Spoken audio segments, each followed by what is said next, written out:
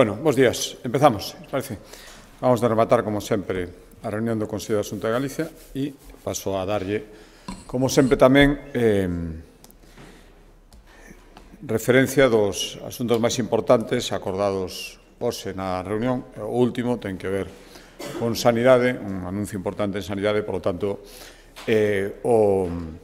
o detallará eh, máis profundidade o Conselleiro. Empezamos con un acordo eh, proposto pola Consellería de Emprego.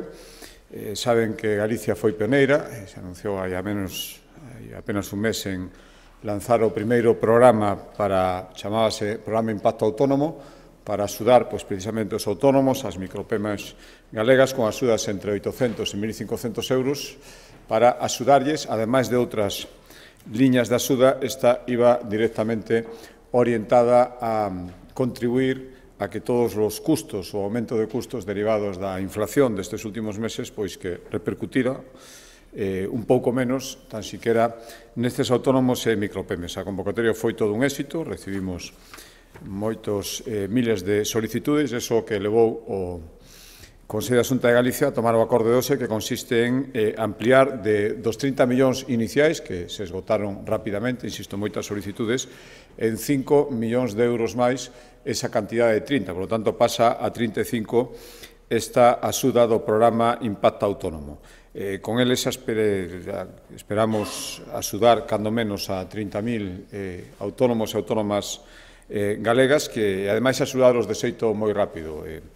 os primeiros beneficiarios xa están a cobrar as axudas durante estas eh, seguintes semanas a seguirán cobrando e con esta ampliación esperemos que en poucas semanas eh, no cando menos 30.000, esperemos que sexa algo máis, pero cando menos 30.000 autónomos e autónomas podan ter esta suda que está entre 800 e 1.500 euros e que é un programa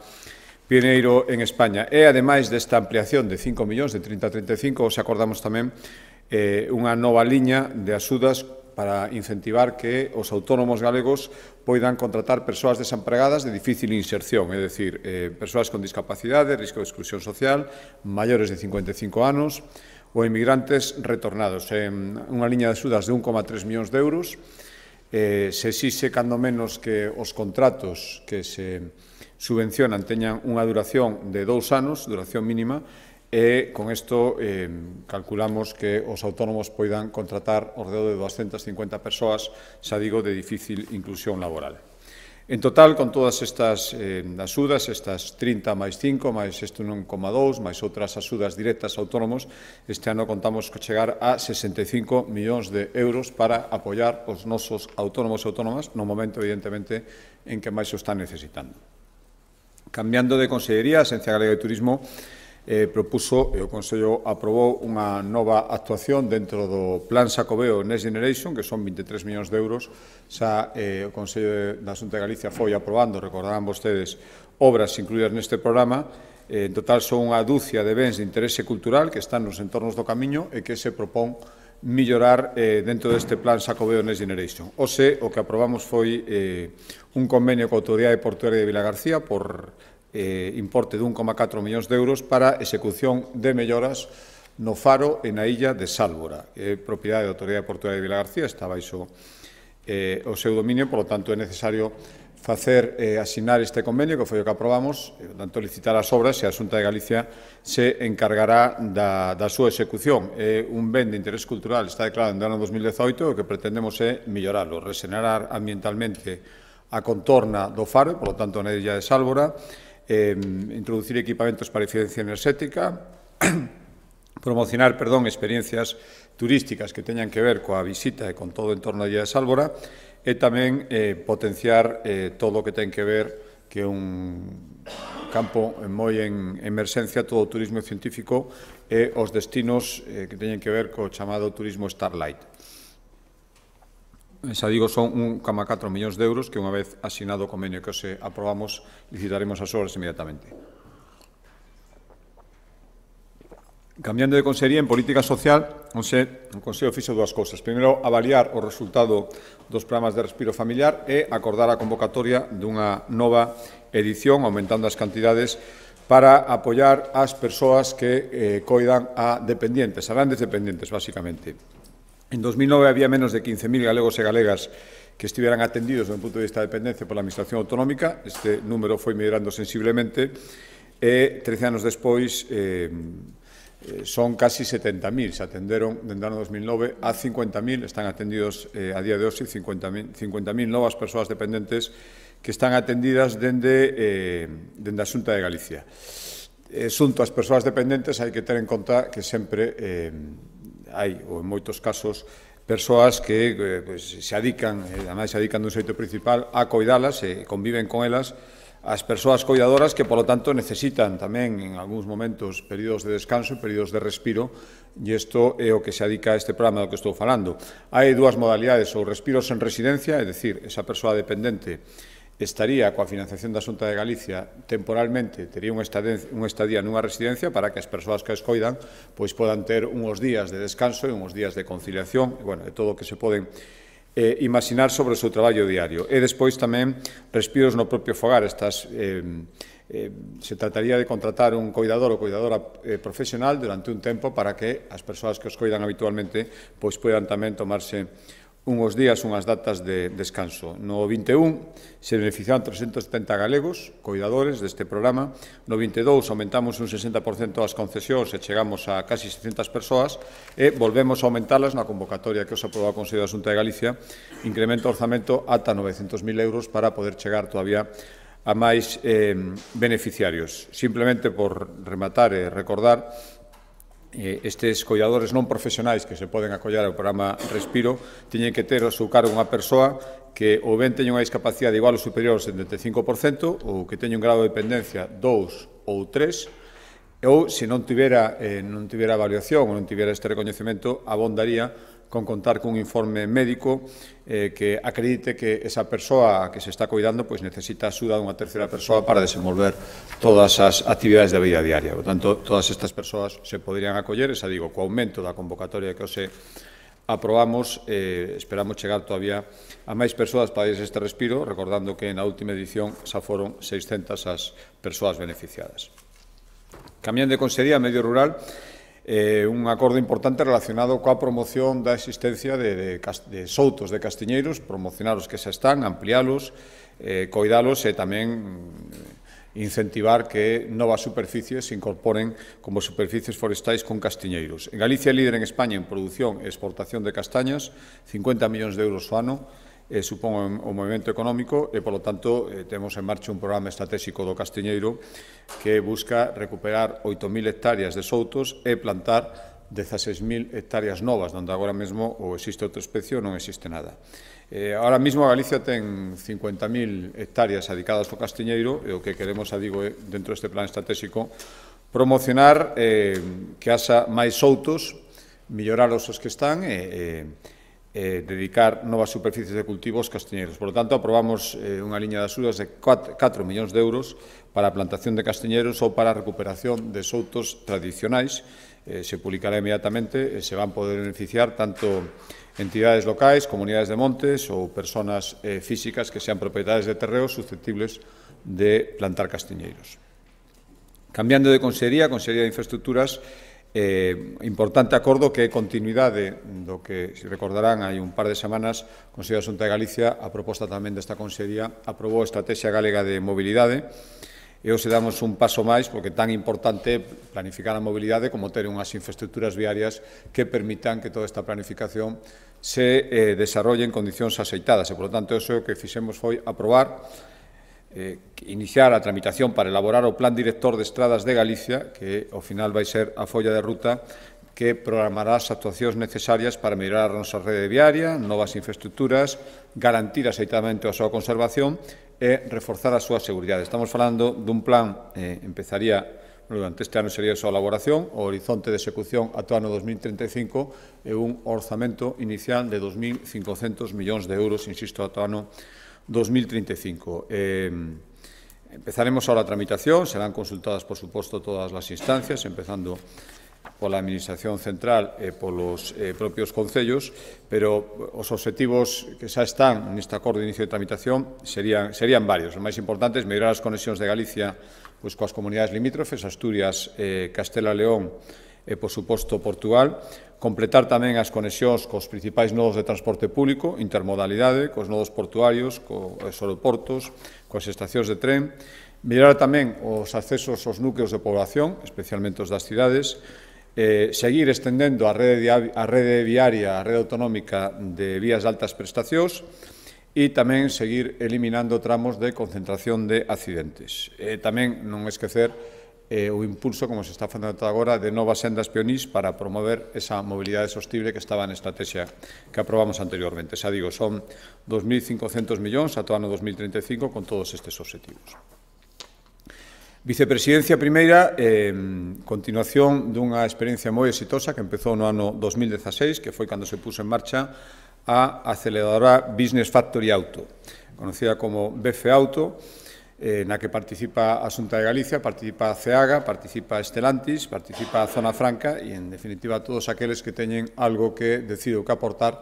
no sector de automoción, na zona onde se concentra basicamente en Galicia este sector que na zona de Vigo. Al final, o que busca eh, BF Auto é promover proxectos de investigación e innovación na automoción feitos desde Galicia E, dende que se puso, decía que foi unha experiencia exitosa, pois dende que se puso en funcionamento se crearon 64 empresas, 550 empregos e unha facturación de máis de 90 millóns de euros solo no ano 2022 estas empresas que se crearon dende esta aceleradora. Por lo tanto, queremos seguir eh, nesta liña e eh, por eso se aprobamos renovar o convenio que é necesario eh, establecer entre todas estas entidades que participamos na aceleradora para eh, impulsar ata 60, esa é a previsión novos proxectos de automoción ata o ano 2026. Eh, en total, o convenio vai ter unha, un montante de 20,5 millóns de euros, dos cales a Xunta de Galicia foi tamén o que aprobamos hoxe, aportará algo máis da metade, o 55%, é dicir, ao redor de 11 millóns de euros para esta aceleradora que, insisto, empezou no ano 2016, que tivo resultados moi exitosos e que queremos que siga cando menos ata o ano 2026. Eh, outro acordo importante do punto de vista práctico ten que ver coa celebración dos procesos selectivos que están en marcha na Xunta de Galicia. A día de hoxe eh, están en diferentes grados de execución 75 procesos selectivos no ámbito da función pública, no, no ámbito dos sergas, eso eh, vai aparte, pero no, no ámbito da Administración Pública xeral, e deses 75, 36 están a día de hoxe ou estaban pendentes de que se sinalara unha data para a realización das probas. Somos perfectamente conscientes de que hai moitísimas eh, persoas, estamos falando de 900 prazas de emprego público, hai eh, máis de 40.000 eh, persoas inscritas para realizar estas probas e, polo tanto, ter a certeza e o horizonte de cando se van celebrar, lo que é algo moi importante, eh, que estou seguro que todas as persoas inscritas, estas máis de 40.000, agradecen efectos de planificación establecer as súas previsións. Estamos falando, ademais, de, de eh, prazas convocadas para cubrir 120 no Corpo Auxiliar C2, 119 de persoal subalterno, 102 do Corpo Administrativo C1, 90 do Corpo de Xestión A2, é dicir, prazas que teñen moitos eh, solicitantes, moitos aspirantes, e, polo tanto, eh, Ya digo que agradecerán saber que oso Consello de Asunta de Galicia eh, acordou que os exames se van realizar na... No, na primeira quincena de suño se realizarán 24 probas destas 36 e na, na, primeira, na primeira quincena de suyo eh, as nove restantes. É dicir, agora se publicará inmediatamente eh, cales, desas, cales son esas 24, eh, por non detallar na roda de prensa, o teñen a súa disposición, tamén o podemos facilitar, pero Os coitores poderán saber a partir de mañá cando se publique que 24 desas probas que están esperando a data se van realizar, xa digo, na primeira quincena de suño e as outras nove na primeira quincena de suyo. Despois quedaría na primeira quincena de octubre eh, as dúas probas restantes, esas son xa probas turno restringido para acceso de persoas con discapacidade intelectual. Por tanto, o grosso onde se concentrarían os aspirantes eh, celebrarían as súas probas primeira quincena de suño e primeira quincena de suyo, co detalle que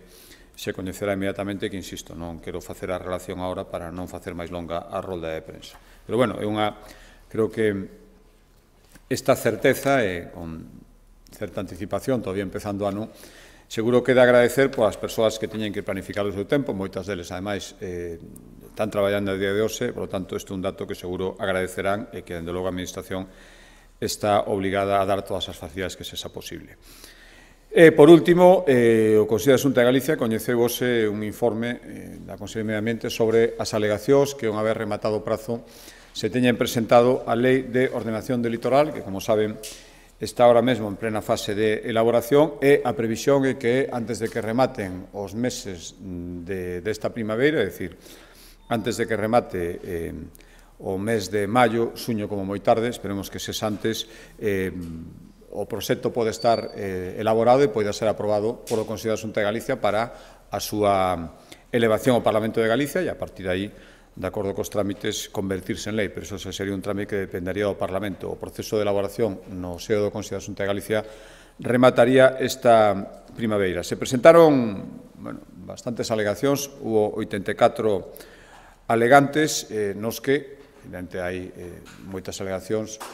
e variadas, pero o consenso será, na inmensa maioría, eh, coinciden en sinalar que é necesaria esta lei e, polo tanto, Galicia se ten que dotar dunha normativa que este adaptada á realidade do noso territorio. A digo que son alegacións variadas, presentaron alegacións a Administración Xeral do Estado, concellos, eh, asociacións de empresarios, entidades medioambientais, entidades do sector marítimo pesqueiro, tamén particulares, digo, son moitas, por darlles algúns detalles do informe que os he coñecido da Xunta de Galicia, e por facer algún desglose, as presentadas pola Administración do Estado basicamente son as que presentou a Secretaría de Estado do Medio Ambiente, xa son coñecidas porque o Secretario de Estado do Medio Ambiente fixo, vostedes se coñecen valoracións ao respecto, non alude en ningún momento non un examen do seu articulado, é máis ben unha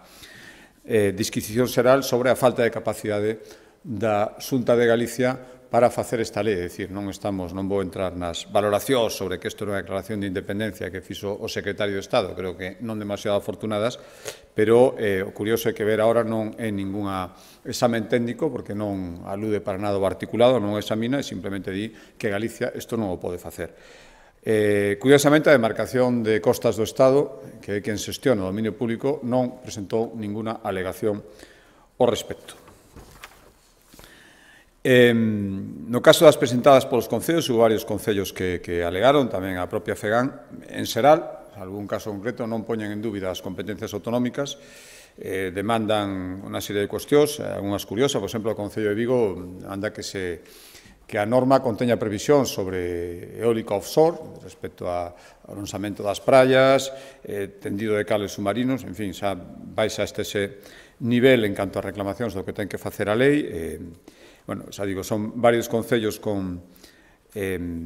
reclamacións variadas, a Diputación da Coruña alegou, alegou fora de plazo, ainda así van ser tidas en conta, porque creemos que neste momento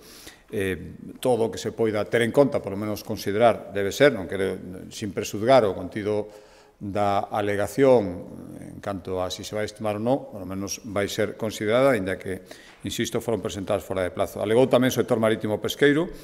eh, coinciden en instar ao Estado a, a deixar que a Xunta lesisle, consideran que temos plenas competencias para elo e pide máis protagonismo no proxecto de lei das actividades pesqueras tradicionais relacionadas todo coa acuicultura.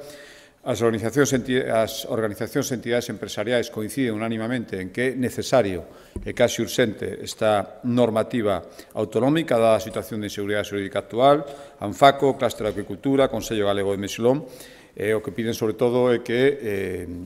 esta lei de a seguridade xurídica que ahora mesmo a normativa estatal non está proporcionando os seus negocios, as súas actividades. As entidades deportivas piden que as actividades náutico-deportivas sexan reguladas na lei e que se aproveite esta lei para a potenciación de todo o que ten que ver co turismo náutico en Galicia. Tamén alegacións de particulares, eh, a maioría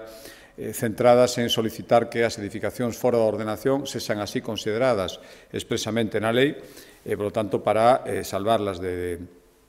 das estacións de inseguridade xurídica que teñen actualmente. Alegou tamén, en o mundo vista político, o Bloco Nacionalista Galego, o Partido Socialista de Galicia non fixo alegacións, o Bloco Nacionalista Galego sí, hai varias alegacións, hai unha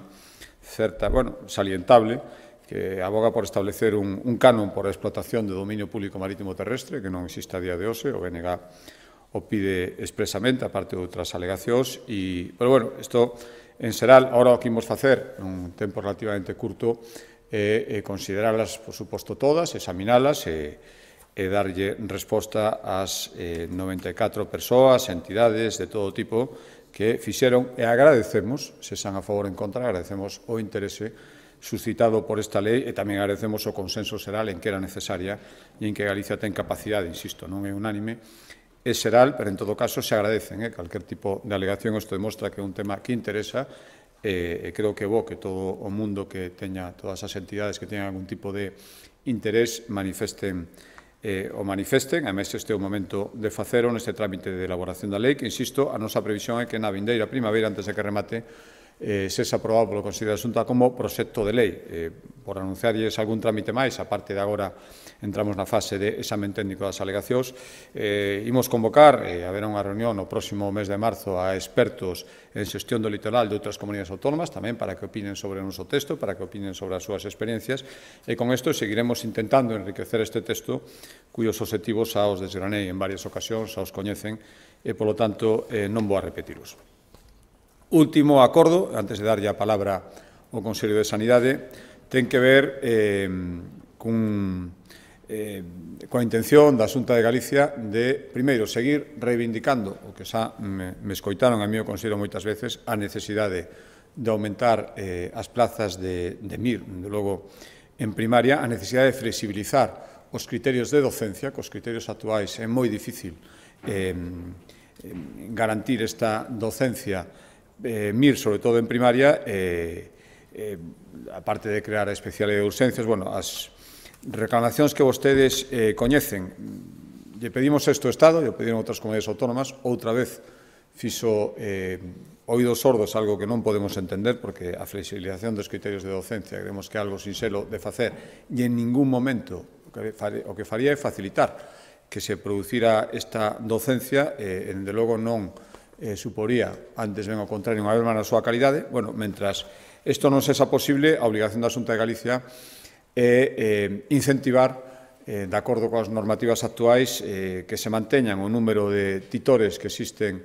para eh, as persoas que aproban o MIR e se pode ser que aumenten. Por lo tanto, desto vai este decreto, agora mesmo hai 900 titores de residentes en todas as especialidades en Galicia, 350 na área de Medicina de Familia e o que pretendemos é eh, manter, desde logo, que está, e incrementar eh, o número de profesionais que desempeñen este labor de titor nos sergas, especialmente na primaria. Para iso hai unha serie de incentivos, unha serie de medidas eh, que para darlles máis detalle lle dou a palabra agora ao Conselleiro de Sanidade.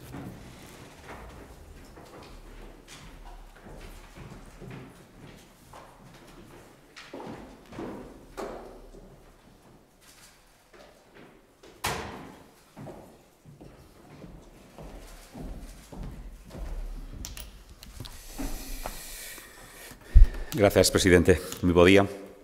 Oxe elevamos ao Consello da Xunta unha das normas máis importantes para a Consello de Sanidade nesta legislatura, como é o que anunciaba o Presidente o Decreto Regulador da Formación Sanitaria Especializada en Galicia, e particularmente tamén a configuración dun estatuto para os titores, xefes de estudios e colaboradores docentes que participan nese esforzo de formar as novas xeracións de persoal sanitario. Como saben, a Xunta leva tempo reclamando ao Goberno Central que incremente o número de plazas MIR para médicos de familia, especialmente, co objetivo de paliar ese déficit de profesionais que temos especialmente na atención primaria. Un problema que, como saben, non é exclusivo de Galicia, sino que afecta ao consunto do país.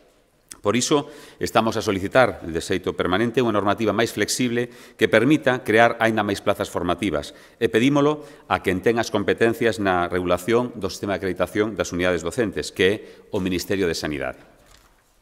Pola nosa banda, Galicia continúa a cumprir coas súas competencias, as que lle corresponden, por unha banda, a ofertar o máximo de plazas dentro do sistema vixente e, por outra, a conseguir titores que se encarguen de guiar e formar aos novos titulados durante todo o período de residencia. Na actualidade, como ben decía o presidente, hai alrededor de 900 titores das distintas especialidades e, en particular, 350 na área de medicina familiar e comunitaria. Moitos deles, por certo, están próximos á súa subilación.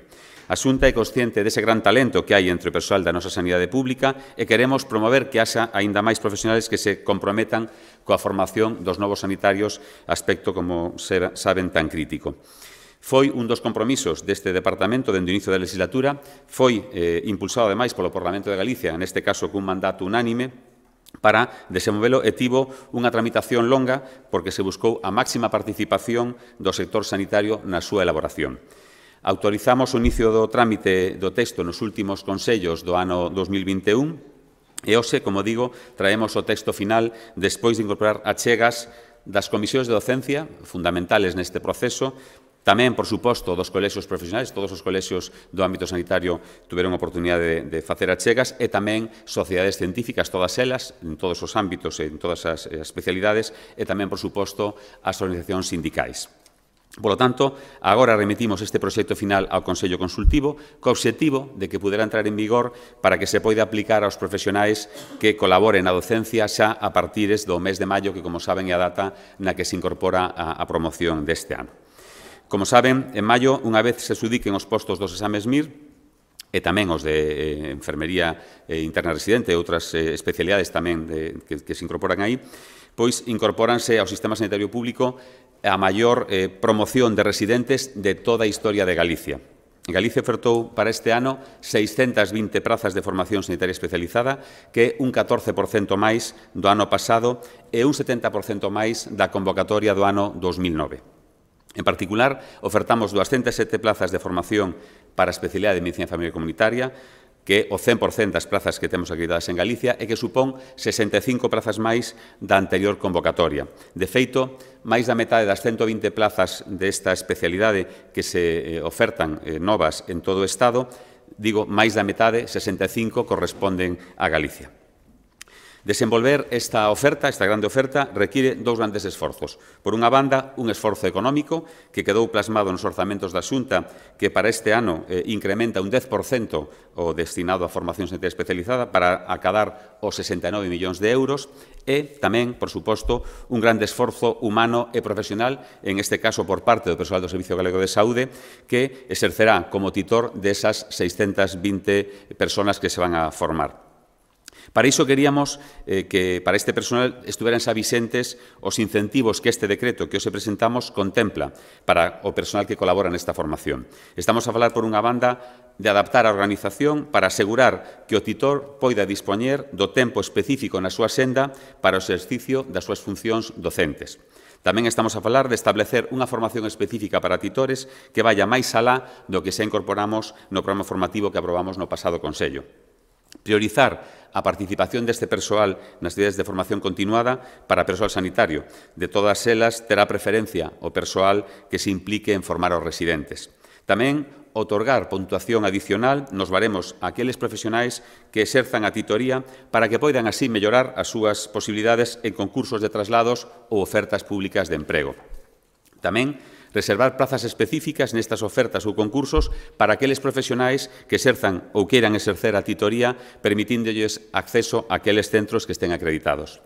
e tamén eh, participar, eh, en este caso, nos titores da especialidade de Medicina médica Comunitaria, acurtando o tempo eh, que poden tardar en alcanzar os sucesivos grados de carreira profesional e, polo tanto, mellorar tamén de xeito indirecto as súas retribucións. Ademais, o novo decreto incorporará novidades na ordenación da formación especializada. Recoñece e regula formalmente as subcomisións de docencia, que son fundamentais en algunhas especialidades, como, por exemplo, a enfermería, recolle a figura da titoría de apoio no caso de unidades que reciben eh, un alto número de residentes en rotación, como por exemplo a especialidade de urxencias, que como saben aínda non ten especialidade, pero sí ten estes titores que reciben moitos eh, alumnos ou residentes de outras especialidades. En definitiva, a Xunta cumpre cos seus deberes e seguimos agardando que o Goberno de España cumpra cos seus. En primeiro lugar, Estamos especialmente preocupados co que ese, ese esforzo que acabo de comentar que fixo Galicia e o resto de comunidades autónomas en incrementar as plazas eh, de formación de familiar comunitaria poida quedar frustrado polo deficiente sistema para asignalas. Dende Galicia, levamos anos insistindo na necesidade da modificación do sistema de elección das prazas MIR para evitar a descoordinación que se produce á hora da adjudicación das prazas de maneira telemática, facendo que os aspirantes non poidan coñecer en tempo real todas as vacantes que teñen disponibles para elixir. Esta é unha eiva que non só advertiu Galicia eh, fai un ano, cando se levou a cabo a última convocatoria para a elección de plazas, senón que é unha reclamación feita por comunidades autónomas de distintos signos políticos, pola maioría do Congreso dos Diputados e tamén polas asociacións médicas e de EMIR.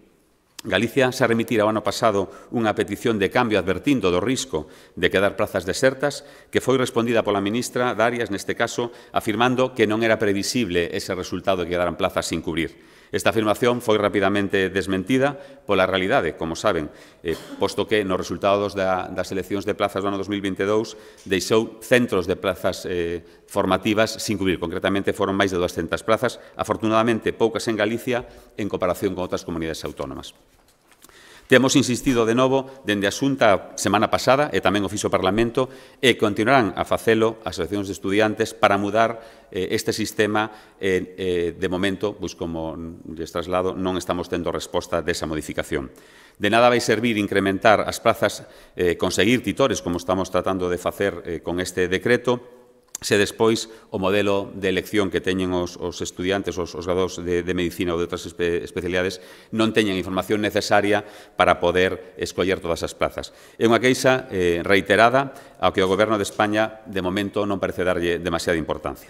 Igual que non parece conceder importancia a necesidade de flexibilizar os requisitos para crear aínda máis novas plazas formativas, especialmente na especialidade de Medicina Familiar e Comunitaria. Esta é unha demanda que parte dun acordo unánime de todas as consellerías de Sanidade, xa no ano 2018, por suposto, de todos os signos políticos, diagnosticouse como urxente xa daquela esa necesidade de flexibilizar os requisitos para crear máis plazas docentes desta especialidade. A realidade é que pasaron casi xa cinco anos neste caso e case cinco ministros de Sanidade e aínda a semana pasada recibimos un borrador desa nova regulación do sistema de creación de plazas de, de familia comunitaria que parece, nunhas primeiras eh, lecturas, que mantén todos os atrancos e barreiras que Galicia e outras unidades autónomas e o Congreso dos Diputados pretendemos eliminar. E, por último, tampouco lle concedeu importancia a necesidade de crear, canto antes, unha especialidade propia para a medicina de urxencias e emerxencias.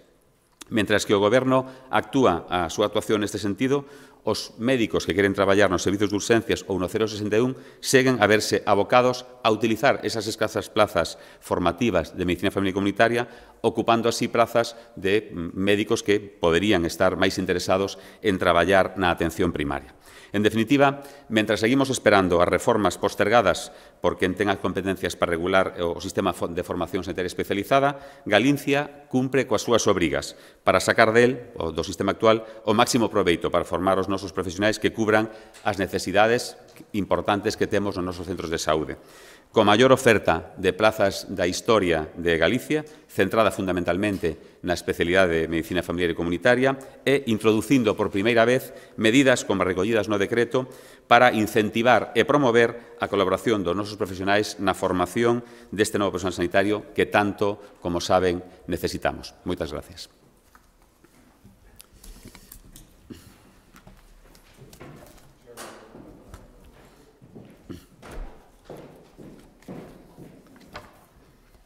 Falaba que hai 900 titores actualmente. Cal é a previsión con este decreto? Ata onde se poderían incrementar? E tendo en conta, non sei se o cálculo está ben feito, pero que hai 900 titores e 620 plazas, non parece que haxa moito problema de que falten titores. Non sei se isto igual é... Bueno, eh, falábamos dos, dos titores especialmente de, de medicina familiar e comunitaria, que son 350, eh, bueno, eh, aínda que son, eh, neste caso, 207 plazas as que sacamos, por exemplo, este ano en familia comunitaria, hai que pensar que esta residencia dura 4 anos, polo tanto, necesitamos non 207, sino mm, si, si cada eh, profesional tuvera solamente un médico residente formándose, necesitaríamos 800, evidentemente, atende máis. Temos un, un problema importante de titores, especialmente no ámbito ámbito da atención primaria, que se xuntan, como decíamos, a eses requisitos para as unidades docentes e fai que Galicia, con 463 centros de saúde que ten ahora mesmo, por certo, a maior porcentaxe de centros de saúde de todo o Sistema Nacional de Saúde en España, pois con 460 centros de saúde só pode formar en 100 desos centros, é dicir, hai 360 centros que ven porque non teñen titores ou ven porque non cumplen algún tres requisitos que nos entendemos que se poden flexibilizar nos centros de saúde, non poden acoller plazas de formación. Eu creo que todos estamos de acordo que un dos maiores problemas que temos ahora mesmo na sanidade en todo o Estado é a falta de, de, de profesionales formados. Non? O que estamos traballando con este decreto é mellorar as condicións, primeiro, para recoñecer os que xa están, é importante que eses 900 en Seral, eh, eses 350 en comunitaria, sean máis recoñecidos do que son na actualidade, e por eso, pois, eh, eh, todos os aspectos que comentei de, de promoción na carreira profesional, no caso desde familia comunitaria, ou na, nas ofertas públicas de emprego ou, ou nos traslados, por exemplo, pois que se vesen reconocidos. E, ademais, buscar un sistema para facelo máis atractivo e que podamos ter máis. En todo caso, no ámbito da primaria, a mellor maneira de ter máis titores, como digo, sería flexibilizar os criterios e que centros de saúde que teñen tres médicos, por exemplo, non chegan aos catro recollidos no, na normativa actual, pois podan aspirar tamén a ser titores e, eh, ser, e, ter, e ter residentes. Non? Insisto, no mm, abordando o maior problema que temos en toda a sanidade pública en España que a falta de especialistas, non de médicos, insisto, de especialistas formados a través deste sistema. No, no, eh, son medidas para mellorar, insisto, recoñecer os que están e, eh, e tratar de facelo máis atractivos para os novos. Eh, evidentemente, cantos máis teñamos, dentro dunha orden razonable, mellor. Sí, quería preguntarlle, o alcalde de Santiago anunciou que cederá a xunta a parcela para construir o novo parking do Hospital Clínico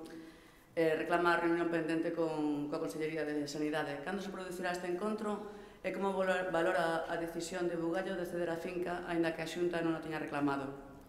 Bueno, co alcalde de Santiago temos falado en distintas ocasións deste tema. Eh, o plantexamento é, como tamén el sabe, pois facer en primeiro lugar un estudio de mobilidade. Eh, o tema de aparcamento non, non é só unha cuestión de, de, de plazas de aparcamento, influye transporte público, influye en viais, influye en moitas cousas e o compromiso co alcalde de Santiago é facer este estudio de mobilidade de consunto e froito dese estudio de mobilidade, pois a Xunta está disposta bueno, pois a, a colaborar nesa, nesas solucións que propoña o estudio de mobilidade. O que temos pendiente é facer ese estudio, el, el o sabe perfectamente.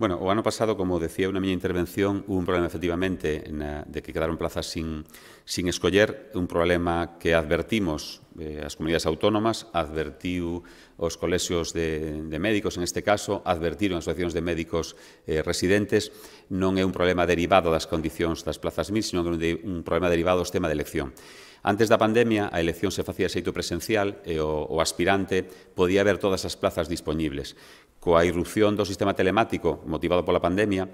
pero non, eh, non con unha boa solución, o aspirante non pode ver todas as plazas disponibles. E eso pro provocou, como ya advertimos moitos ao Ministerio, que o ano pasado efectivamente quedaran 200 plazas sin eh, escoller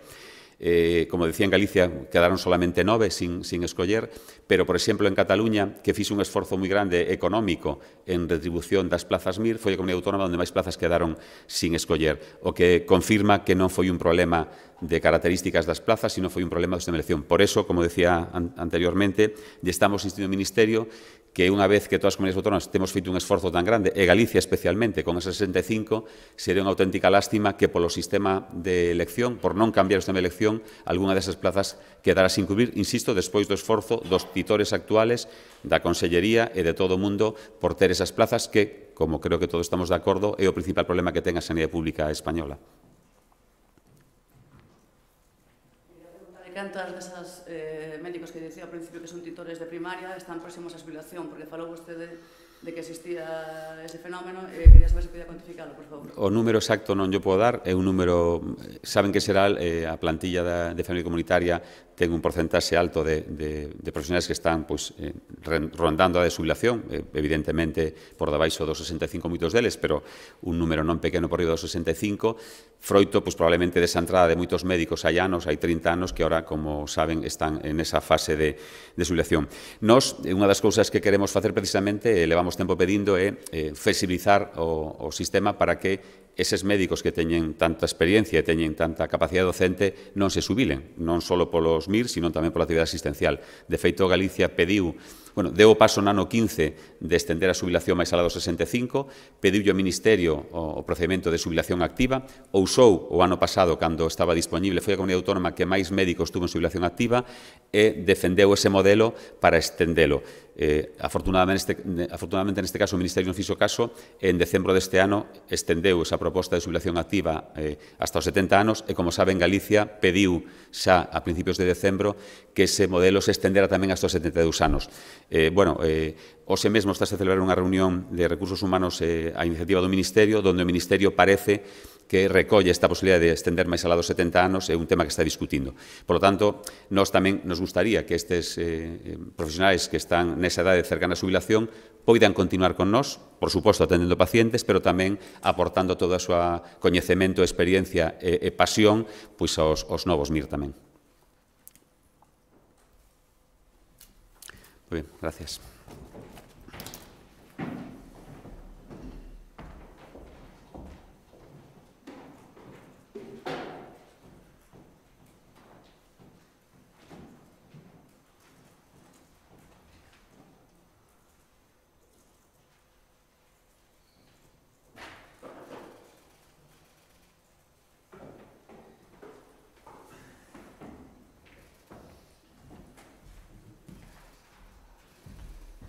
Ben, a súa disposición.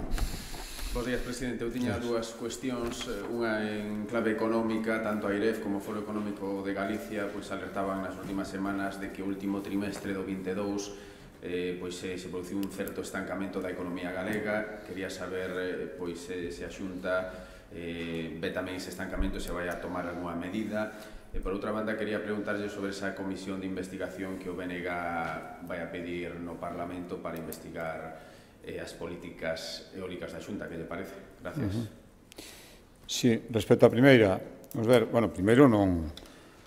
non é a primeira vez que me vai escoitar decir isto, e non, non oculta a miña preocupación por o panorama económico, nin ese optimismo a toda costa do, que vemos no Goberno Central, no presidente do Goberno, en moitos dos seus ministros e ministras, especialmente os responsables económicos, donde parece que non hai que preocuparse por nada e todo vai ir ben a realidade nos desminte nun panorama xeral bastante complicado. Dito isto, bueno, é certo que eh, saliron eh, estudios e eh, eh, previsións e iso hai que constatarlas coa realidade. A realidade é que o ano pasado a previsión de crecemento que estaba exactamente no 5 2,2% eh, que se cumpriu en Galicia. Ademais, é unha previsión, foi un crecemento por enriba da media nacional. Por tanto, certo que hubo unha desaceleración, unha desaceleración no último eh, trimestre, eh, especialmente nos últimos eh, dos meses do ano, pero tamén é certo que a previsión que se fixo con carácter anual era 5,2, en Galicia se cumpriu. Eh, antes de rematar o mes de Xaneiro, recuperamos o PIB anterior á pandemia, creo que é unha boa nova tamén, e eh, os indicadores, porque claro, estamos falando de previsións respecto a como pode ir este ano, eh, os indicadores adiantados do Instituto Galego de Estadística, pero non me quero, eh, me gusta falar de datos certos e, por tanto, cando salgan, son os que habrá que avaliar, o que indican é que eh, non son, dende logo, tan pesimistas, insisto, sin eh, subir a preocupación que algúns datos que estamos coñecendo eh, eh, o que indican eh, que o, a previsión de crecemento de Galicia para este ano, feita pola propia Xunta de Galicia, que do 3,6% podería, eh, eh, podería no, debe cumplirse, todo indica que se pode cumplir, ademais xa estaban previstos nos, nas memorias económicas da Xunta de Galicia que os primeiros meses do ano iban a ser complicados e, por tanto, sin chegar á recesión, os nosos indicadores, os do IGE, eh, indican que non chegaríamos a estar en, en recesión, que sería non crecer absolutamente nada, eh, pero que ademais en perspectiva anual, igual que se fixo ano pasado e se cumpriu, se cumplirían as previsións que este ano de crecemento, insisto, son de 3,6%. Por tanto, eh, sin ocultar a preocupación e sin ocultar que as nosas previsións eran que estes primeiros meses do, do ano iban a ser eh, non fáciles e non o están sendo, por lo tanto, optimismo exacerbado e porque sí, non, dende logo non me escoitarán a mí, nin os responsables económicos da Xunta de Galicia, pero todo indica que poderíamos cumplir os objetivos tamén deste ano de crecemento. Respecto á segunda pregunta, bueno, recoñezo que saleu nos medios de comunicación respecto á iniciativa do BNG, veremos exactamente o, o que están pedindo. Eu pediría ao BNG sobre eólico, sobre outras cousas tamén, pero sobre eólico que se aclare un pouco, non foron os grandes promotores mentras tiveron eh, oportunidade no bipartito, se dixeron as cousas que quedaron xa para, nas hemerotecas para a posteridade, eh, opinións de outros membros do goberno sobre o que estaban facendo en materia eólica e, por lo tanto, o que os podo asegurar que o que está facendo este goberno, que, por certo, reconhecido ademais, creo que dun xeito xeral en toda España, eh, actuou en materia eólica. O digo pola última actuación que tivemos, no? respecto ao hito que había que cumplir, con enorme rigor, reseitando aquilo que non se podía facer e, polo tanto, eh, co independencia dos intereses económicos de calquer promotor, actuando como creemos que había que actuar, eh, e tamén con criterios ambientais, cosa que non fixo o Goberno Central. Por tanto, eu estou absolutamente tranquilo, isto de que calquer decisión tomada en materia eólica eh, polo Goberno da Xunta de Galicia se basa en criterios, en informes eh, xurídicos e en objetividade e non en ningún outra cousa, en ningún interés subjetivo. Non creo que escoiten a ninguén, como escoitamos na época do bipartito, facer susestións bastante delicadas sobre que era aquilo que movía a certa decisión que se tomaba naquela época de sobre os viadutos do Castro na A6 eh, chegado o mes de febreiro agora eh, informou o goberno que é preciso sustituir tamén dous vans e un pilar do, en paralelo o que se derrubara inicialmente. O goberno di que se mantenga a previsión de que se abra o tráfico este mesmo ano. A vostede que lle parece é unha segunda cuestión, se me permite, eh, sobre o ex deportista, o ex lanzador de jabalina, eh, Gustavo Dacal, que vai volver a Galicia con a axuda da Xunta de Galicia se nos pode decir si é a Xunta que actuou de oficio para axudarlle a regresar, se foi unha petición del ou de unha asociación ou federación deportiva. Sí.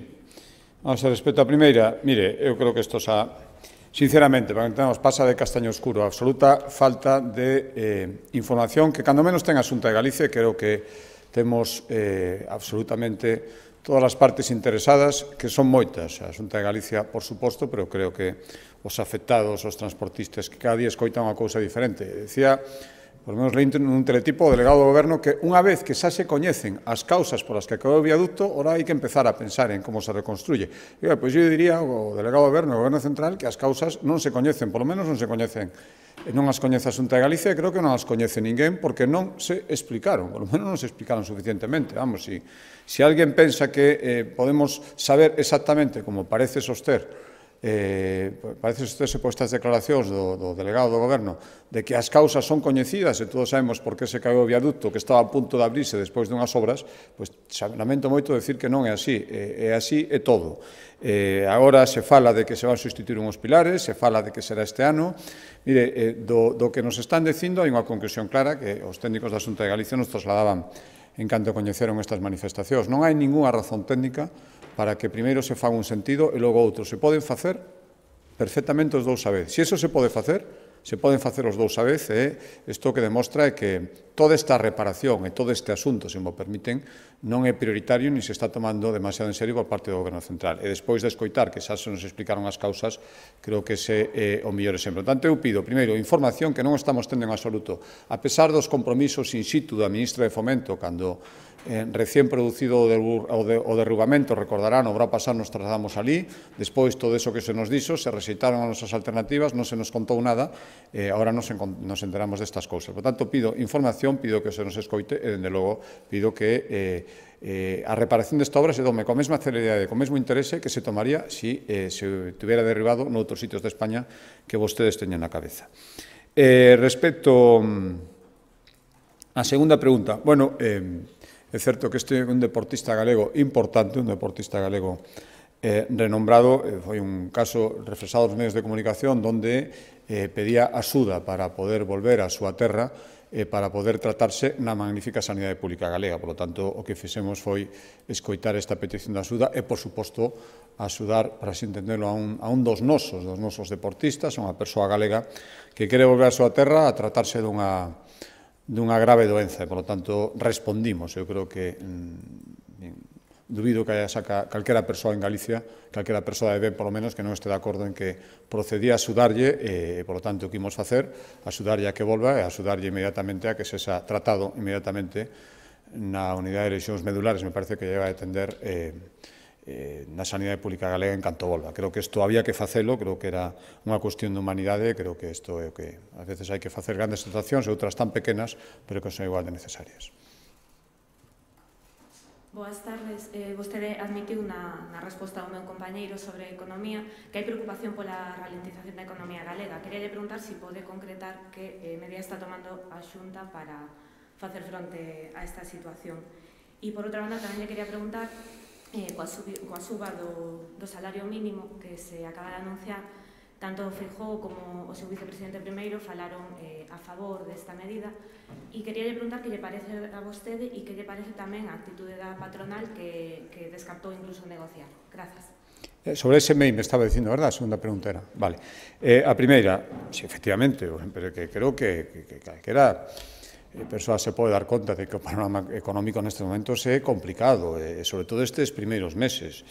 Eh, polo tanto, eh, como teñamos previsto, e cando estábamos na fase de elaboración dos orzamentos que agora están en vigor, recordan vostedes que decíamos que, que había que telo moi en conta. Creo que unha boa demostración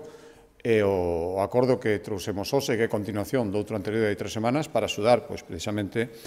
a tantos miles de persoas autónomas e micropemes que agora mesmo, frente á inflación, necesitan unha axuda suplementaria de ata, 1.500 euros que, insisto, xa están cobrando as primeiras solicitudes nunha axuda que se convocou apenas hai tres semanas. Creo que isto é unha boa medida.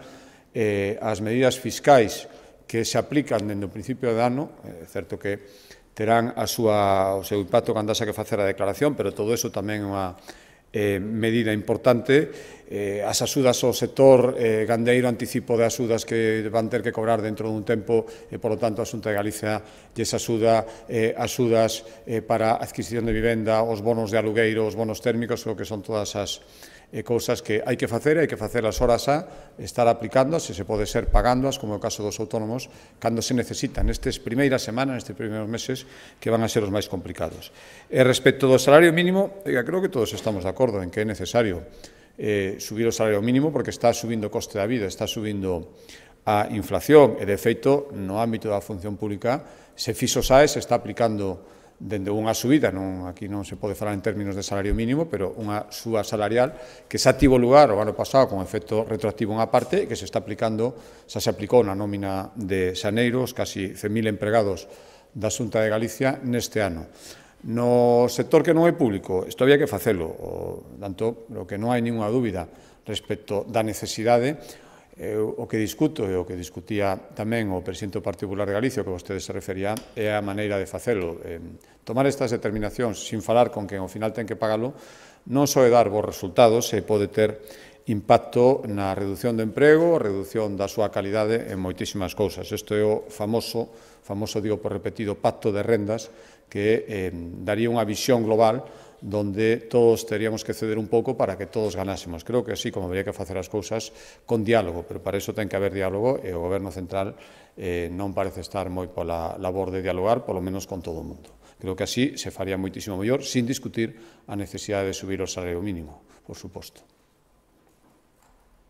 Sí, Presidente, boa tarde. En relación a ese estudo que tería a Xunta sobre a mesa para eliminar a cita previa obligatoria na Administración, quería coñecer un pouco en que, en que fase está e se hai xa algún prazo para que efectivamente se poda eliminar. Grazas. Sí, mire, eh, a prate, como saben vostedes, eh, a, a cita previa foi unha medida que tomou toda a súa intensidade durante a pandemia e é certo que despois, pasadas as razóns sanitarias, non tiña sentido mantela. E a Xunta de Galicia en Seral o estaba mantendo en moi poucos registros, absolutamente residuales. Eso quere decir que un sistema de cita previa como organización do traballo e incluso da planificación das persoas que o solicitan eh, non poida permanecer, pero eso non pode excluir que as persoas sin cita previa non sexan atendidas e non pode ser un sistema exclusivo. Por lo tanto, eso é o que a Xunta de Galicia quere eliminar e vai eliminar, xa digo, é absolutamente residual, agora se falábamos no Consello da Xunta de Galicia de establecer xa un criterio para convivir o posibilidade de pedir cita coa, coa obriga de atender tamén as persoas que sin cita previa eh, se presentan ás oficinas administrativas. Por lo tanto, eso se vai instaurar, eh, en, ademais, en moi, pou, en moi pouco tempo, donde, donde todavía era o sistema exclusivo de traballo, que xa digo, eran registros e en oficinas moi residuais, e, dende logo, non soimos facer. E, máis, permítame, porque ás veces un exemplo en, moi clarificador, eh, creo que se vai ver a diferencia, eu agardo que as outras administracións fagan o mesmo, por exemplo, nos servicios de emprego saben que eh, nas cidades conviven no mesmo espacio físico, no mesmo edificio, os servicios de emprego estatais, que siguen aplicando como criterio exclusivo ao sistema de cita previa para ser atendidos e o Servicio da Xunta de Galicia que non o terán como sistema exclusivo. Por lo tanto, as persoas sin cita previa tamén serán atendidas e isto se vai facer dun xeito inmediato. Xa digo, moi poucos sitios agora mesmo. Creo que o problema se está dando moito máis noutros ámbitos, noutros ámbitos administrativos que o da Xunta de Galicia. Nos volvimos a facer un repaso, xa digo, estou falando de dúas, tres oficinas en máis de 170, pero o que faremos todavía é afinar e organizar máis para garantir, e insisto, creo que pode ser un bo sistema tamén a cita previa efectos de planificación, incluso do administrado, que sepa que ora vai ser atendido, pero eso non pode excluir que as persoas sin cita previa non reciban tamén atención da administración, dende logo non na, non na Xunta de Galicia.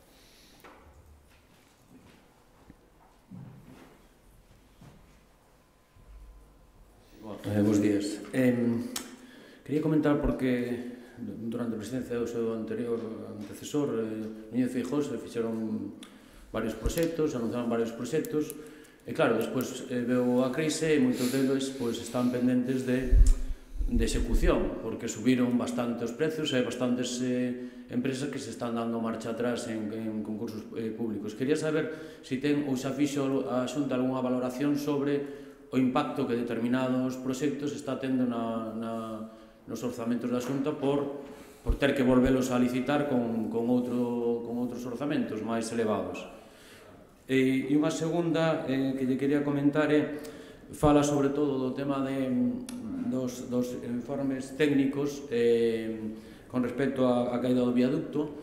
E, mm, quería comentar se, si, tanto vostede ou os técnicos da Xunta están en desacordo co, co informe que realizou para o Ministerio o Estudo MC2 eh, IDEAM, que é un, un estudo de especialista en facer estes tipos de informes. Gracias.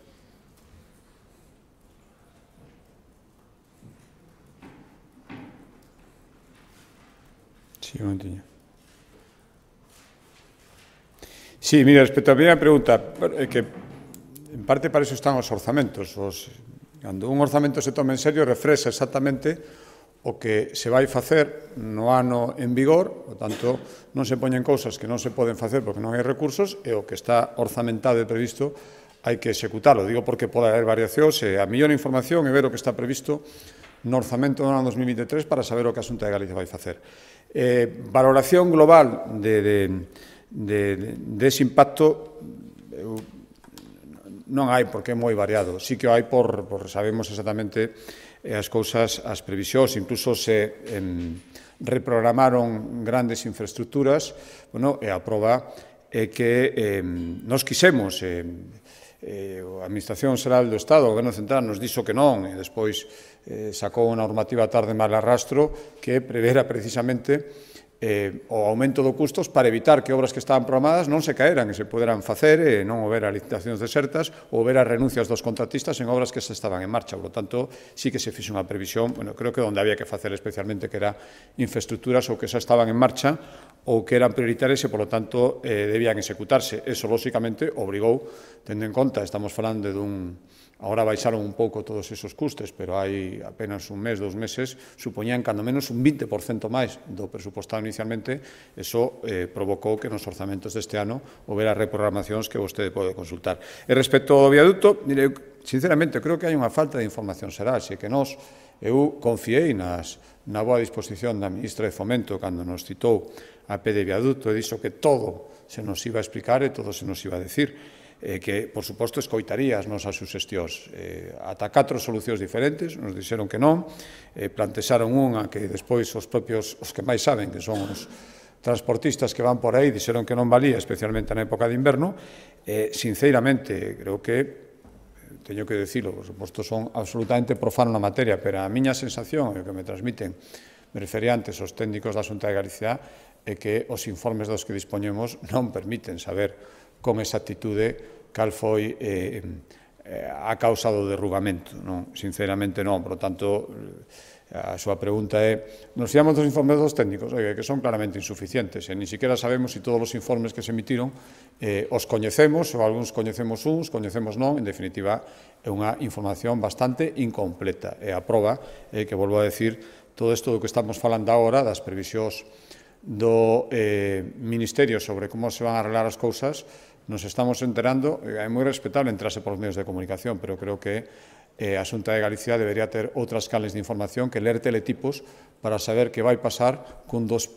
cun dos dous principais accesos a Galicia que leva dende o mes de suño eh, inutilizado. Estou seguro que a unha outra comunidade autónoma eh, moi importante electoralmente para o señor Sánchez, para o señor Sánchez isto non lle facía. Muy bien, pues gracias.